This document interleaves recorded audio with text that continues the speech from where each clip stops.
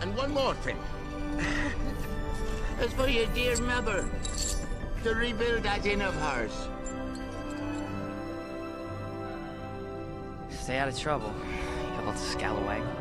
Why, Jimbo lad, when have I ever done otherwise?